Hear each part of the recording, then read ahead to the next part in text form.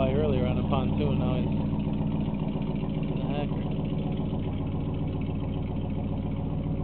Must have got jealous and saw Deco by with his.